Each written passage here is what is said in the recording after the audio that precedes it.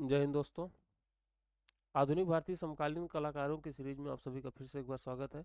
हम लोग आधुनिक भारतीय समकालीन कलाकारों के बारे में, सभी कलाकारों के बारे में देख लिए हैं, विस्तार से अध्ययन कर लिए हैं और तीन सौ अट्ठासी चार सौ अट्ठासी प्रश्नों को भी सॉल्व कर लिए हैं। तो चार सौ अट्ठासी प्रश्नों के बाद चार सौ नवासी नंबर के प्रश्न की ओर चल रहे हैं।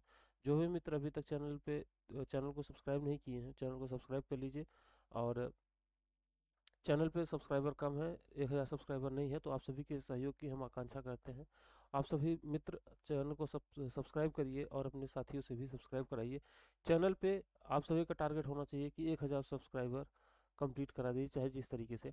तो आप सभी लोग, जो भी मित्र हैं, एक दो लोगों से आप लोग कराएँगे तो दोगुना हो जाएँगे, ठीक है?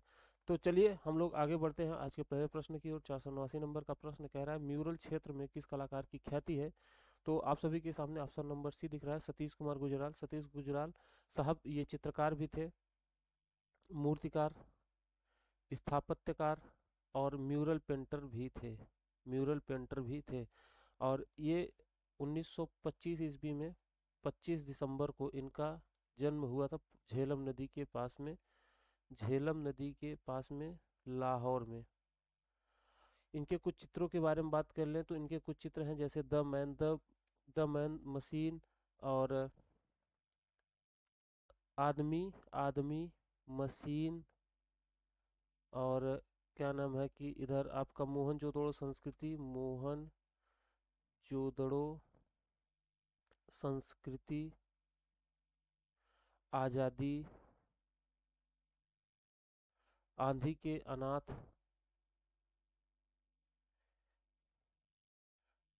आदि इनके दृश्य हैं और आज़ादी की जश्न आज़ादी है, जश्न जश्न आज़ादी, आधे की संस्कृति।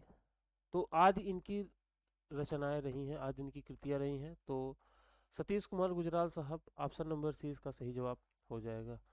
490 नंबर प्रश्न की ओर चल रहे हैं, कह रहा है, देवलानी कर्ण से हुसैन ने कहाँ पर पेंटिंग की शिक्षा ग्रहण की थी? तो इन्होंने इंदौर में एक साल तक हुसैन साहब ने, एम एफ़ हुसैन साहब ने एक साल तक चित्रकला की शिक्षा ग्रहण की थी इंदौर में इंदौर में, और वहाँ पे शिक्षक थे दत्ता देव देवलानी साहब।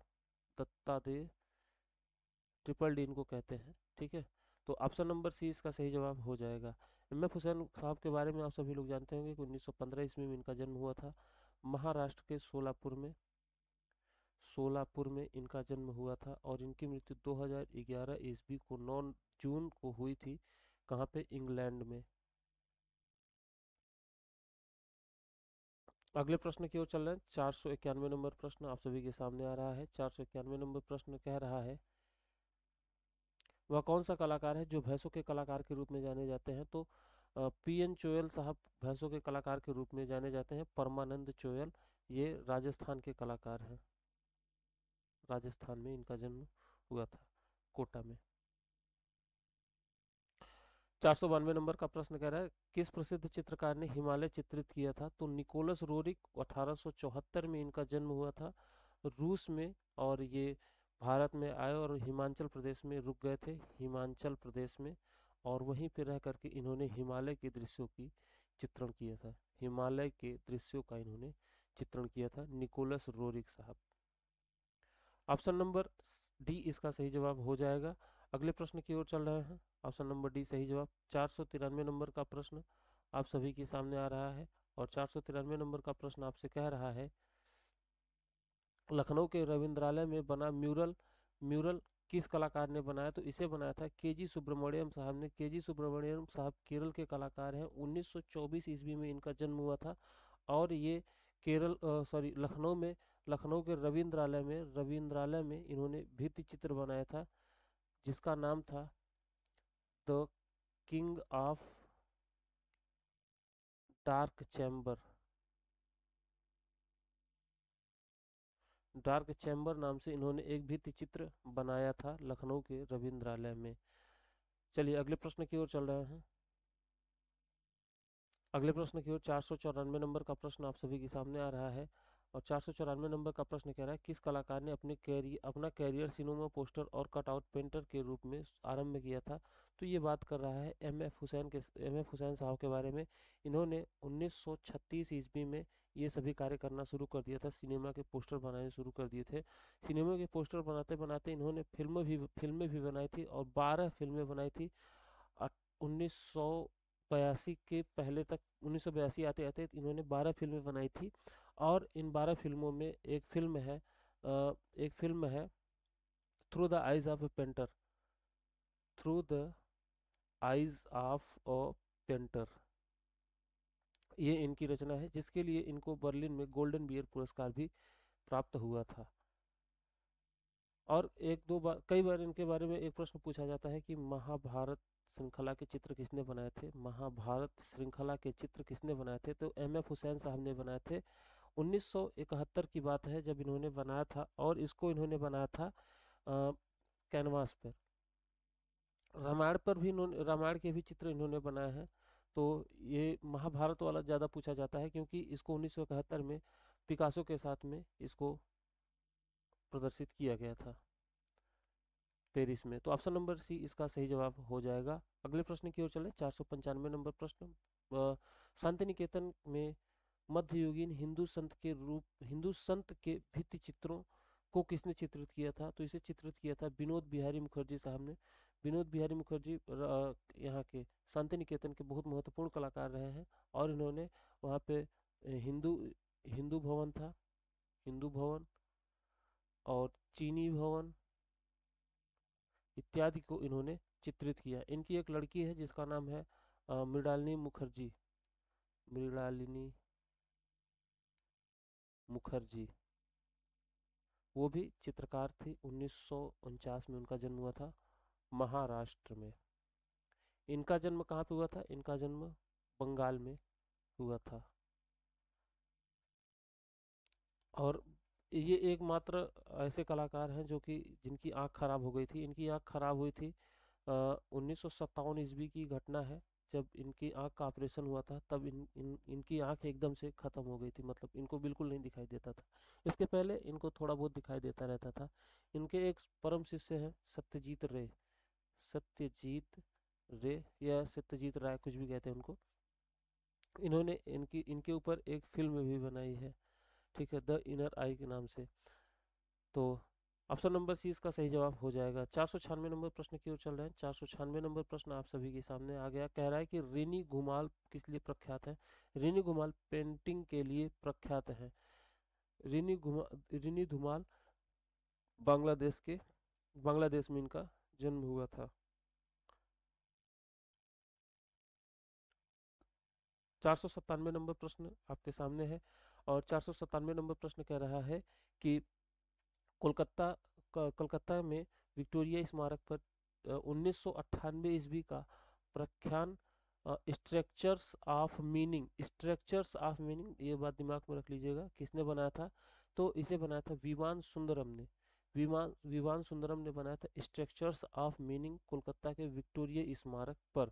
तो ऑप्शन नंबर सी इसका सही जवाब हो जाएगा। अब देखिए विमान सुंदरम के बारे में थोड़ा सा जान लीजिए कि आप लोग अमृता शेरगिल का नाम अमृता शेरगिल का नाम आप लोगों ने सुना होगा। इनकी बहन थी इंदिरा शेरगिल इंदिरा शेरगिल के लड़के थे ये विवान सुंदरम। विवान सुंदरम की पत्नी थी गीता कपूर। गीता कपूर थे इनकी वाइफ और इनका जन्म विवान सुंदरम का हुआ था उन्नीस ईस्वी में। इसके दो साल पहले इनके मतलब कि मौसी की मृत्यु हो गई थी किसकी? अमृता शेरगिल की 1941 ईस्वी में। तो चलिए अगर आपको यहाँ पे लिखने में कोई मैं यहाँ पे लिखता हूँ, अगर आपको कोई तकलीफ़ होती है, कोई दिक्कत होती है पढ़ने में तो बता दीजिएगा, मैं आगे से नई स्लाइड पे लिखा करूँगा। ठीक है? चलिए ऑप्शन नंबर सी इसका सही जवाब हो जाएगा। चार सौ अट्ठानवे नंबर प्रश्न की ओर चल रहे हैं। चार सौ अट्ठानवे नंबर प्रश्न आप सभी से कह रहा है कि मदर टेरेसा सीरीज़ किसने बनाई थी? तो मदर टेरेसा सीरीज़ को बनाया था एम एफ़ हुसैन ने। मकबूल फिदा हुसैन इनका पूरा नाम था। एक बार, एक या दो बार कई बार प्रश्नों में पूछा गया है कि एम एफ़ हुसैन का पूरा नाम क्या था। इनके कुछ प्रमुख चित्र हैं, थोड़ा सा हम आपको बता दें, इनके प्रमुख चित्र कौन कौन से हैं? जैसे कि इनके प्रमुख चित्रों में आ जाता है, पहला तो इन्होंने माधुरी दीक्षित से संबंधित, माधुरी दीक्षित के चित्र बनाए हैं। माधुरी दीक्षित के इन्होंने चित्र बनाए दूसरा, इन्होंने इंदिरा गांधी के चित्र बनाए थे। इंदिरा गांधी के चित्र बनाए थे। इनको देवी के रूप में प्रदर्शित किया था। कब? आपातकाल में। आपातकाल जब लगा था, तब इन्होंने इनके बनाए थे चित्र। और इनके कुछ प्रमुख चित्र हैं, जैसे इन्होंने सरस्वती और दुर्गा के जो देवियाँ हैं, सनातन धर्म की, उनके इन्होंने नग्न चित्र बनाए थे। नग्न चित्र बनाए थे। साथ ही साथ इन्होंने भारत माता के नग्न चित्र बनाए थे। भारत माता के नग्न चित्र बनाया था इन्होंने। और देखिए, इन्होंने ये घोड़ों के चित्र बनाया करते थे। घोड़ों के चित्र बनाया करते थे, जो कि बेड़ियों, बेड़िया तोड़ने के विरोध में ये बनाया करते थे। सतवा हम कह छठवा हम कह सकते हैं ये महाभारत महाभारत रामायण इत्यादि चित्र भी बनाया करते थे। ये एक कलाकार हैं जो कि फ़िल्मों के पोस्टर बनाया करते थे फ़िल्मों के पोस्टर बनाया करते थे। चलिए आगे हम लोग चलते हैं। आ, अगले प्रश्न की ओर। कह रहा है कि एम एफ़ हुसैन का निधन कहाँ पे हुआ था? तो एम एफ़ हुसैन साहब का निधन हुआ था 1911 ईस्वी में। एम एफ़ हुसैन का निधन हुआ था। एम एफ़ हुसैन का निधन हुआ था 2011 ईस्वी में कहाँ पे? लंदन में। कब? 9 जून को। 9 जून को इनकी मृत्यु हुई थी और 10 जून को इनको दफना दिया गया था। इनका जन्म 1915 1915 ईस्वी में हुआ था। कहाँ पे? महाराष्ट्र में। महाराष्ट्र के सोलापुर में। महाराष्ट्र के सोलापुर में इनका जन्म हुआ था और ये बाद में इंदौर एक साल पढ़ने के लिए भी गए थे। कहाँ पे? दत्तादेव साहब के पास में। ट्रिपल डी याद करिएगा। दत्तादेव देवलालीकर साहब के पास गए थे। इन्होंने शिक्षा ग्रहण करने के लिए। चलिए। तो इतनी बातें हो गई तो ऑप्शन नंबर ए इसका सही जवाब हो जाएगा। अगले प्रश्न की ओर चल रहे हैं। अगला प्रश्न आप सभी के सामने आ गया है और कह रहा है 500 नंबर का प्रश्न। 500 नंबर का प्रश्न क्या निम्नलिखित में से कौन राजकीय कला एवं शिल्प विद्यालय मद्रास के प्रधानाचार्य नहीं थे? तो दिनकर कौशिक नहीं थे, बाकी ये सभी के सी एस पडिक्कर और देवीलाल डीपी राय चौधरी ये दोनों तो थे। और ये भी थे।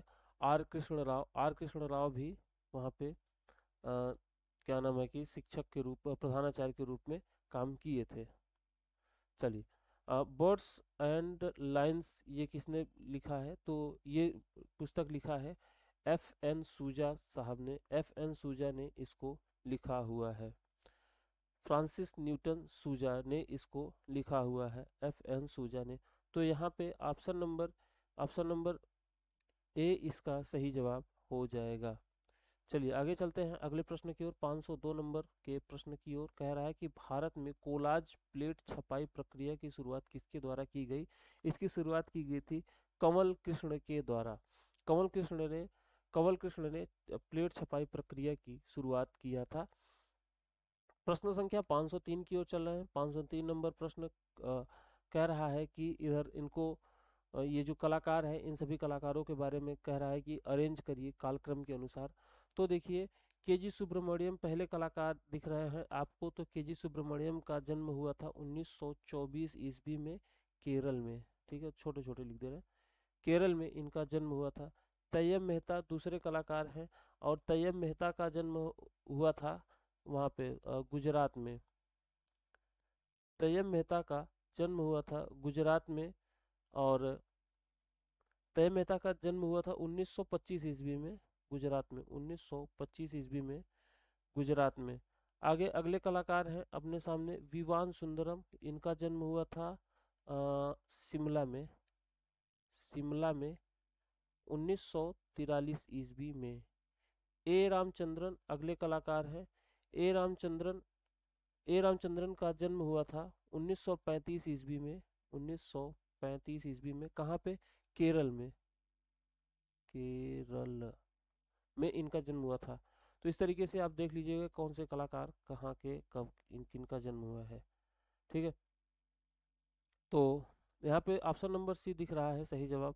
तो ऑप्शन नंबर सी इसका सही जवाब हो जाएगा। 504 नंबर प्रश्न की ओर चल रहे हैं। कह रहा है कि द अम्ब्रेलाज और जापान, यूएसए उन्नीस सौ चौरासी, उन्नीस सौ इक्यानवे निम्नलिखित में से किसकी कलाकृति है?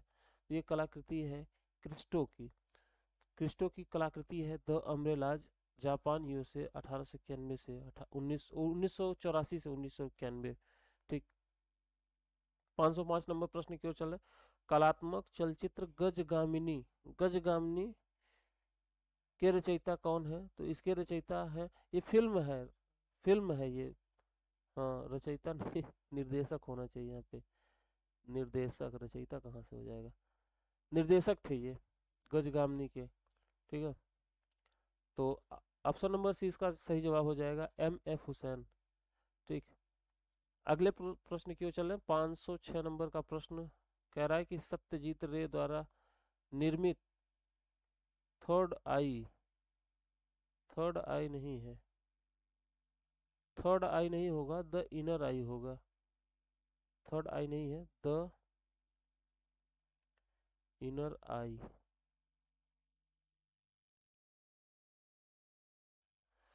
किस कलाकार के जीवन पर आधारित लघु फ़िल्म है? तो ये बनाए थे विनोद बिहारी मुखर्जी के जीवन पर आधारित फ़िल्म बनाए थे, द इनर आई। अगले प्रश्न की ओर चल रहे हैं। 507 नंबर का प्रश्न कह रहा है।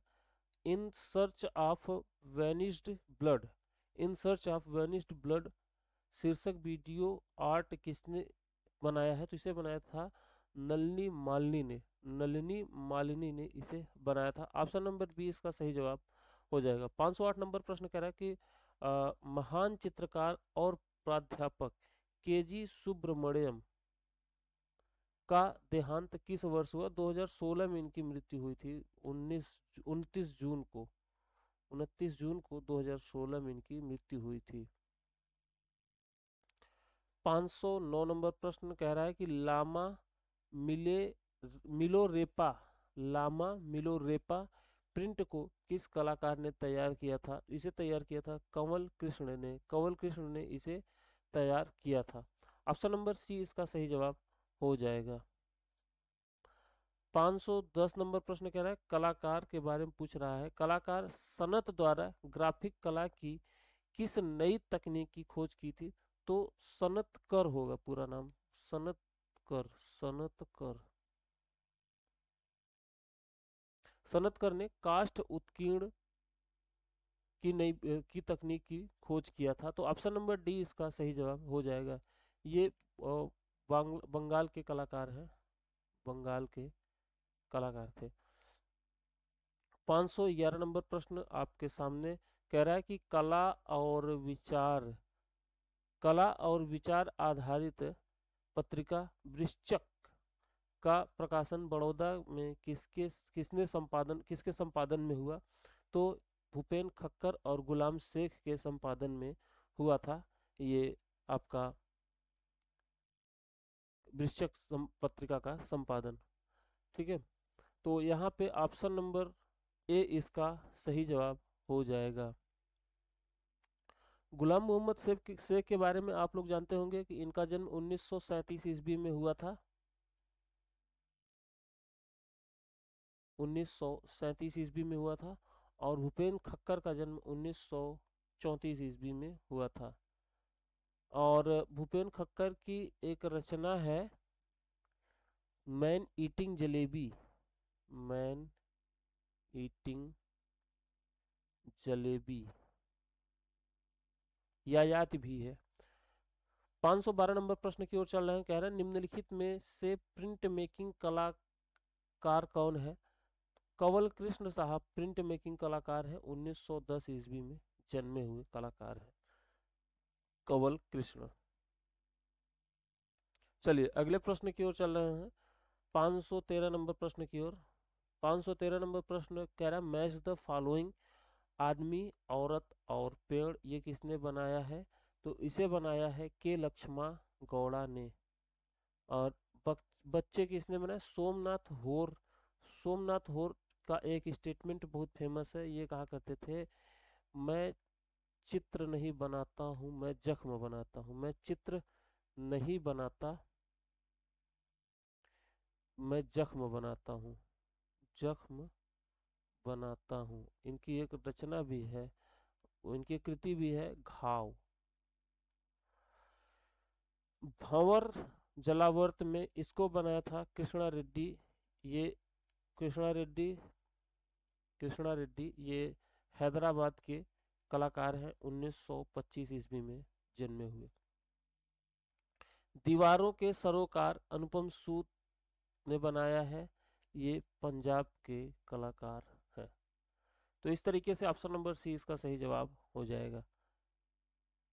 514 नंबर प्रश्न की ओर चल रहे हैं। 514 नंबर प्रश्न आप सभी के सामने है और कह रहा है कि अपने दो चहेते कलाकार डेविड हाकनी और भूपेन खक्कर के साथ जेम्स बॉन्ड के रूप में स्वयं को किसने चित्रित किया था? तो अतुल डोडिया ने इसको अपने आप को चित्रित किया था। अतुल डोडिया के बारे में हम लोगों ने जब आखिरी वीडियो कलाकारों के बारे में देख रहे थे तो इनके बारे में विस्तार से हम लोगों ने देखा था अतुल डोडिया के बारे में।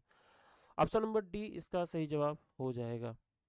अगले प्रश्न की ओर चल रहा है। 515 नंबर का प्रश्न 515 नंबर का प्रश्न आप सभी के सामने कह रहा है, black pages of the Indian republic किसकी प्रसिद्ध चित्रकला श्रृंखला है? तो ये है रणवीर सिंह बिष्ट की। ये उत्तर प्रदेश में इनका जन्म हुआ था मतलब गढ़वाल में। अब तो गढ़वाल कहाँ पे है? ये उत्तराखंड में है। तो वहीं पे इनका जन्म हुआ था। Ranveer Singh Bisht. Option number B, इसका सही जवाब हो जाएगा। 516 नंबर प्रश्न आपके सामने है, लेकिन सामने दिख नहीं रहा है। तो 516 नंबर प्रश्न कह रहा है, प्रसिद्ध चित्रकार मंजीत बाबा कहाँ के थे? तो ये थे, इनका जन्म हुआ था पंजाब में।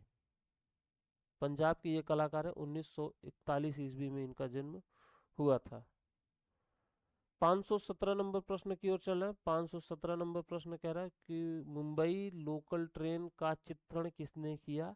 तो किया था सुधीर पटवर्धन। ये महाराष्ट्र में जन्मे ही कलाकार हैं, सुधीर पटवर्धन। वहीं के जन्मे कलाकार हैं। ऑप्शन नंबर सी, इसका सही जवाब हो जाएगा। 518 नंबर प्रश्न आपके सामने है। कह रहा है कि नीलिमा शेख नीलिमा शेख की कलाकृति इनसे प्रभावित थी मतलब किससे प्रभावित थी? तो इनकी कलाकृति ऊपर दिए हुए किसी भी कलाकार से प्रभावित नहीं थी। ऑप्शन नंबर डी, इसका सही जवाब हो जाएगा। 519 नंबर प्रश्न की ओर चल रहे हैं।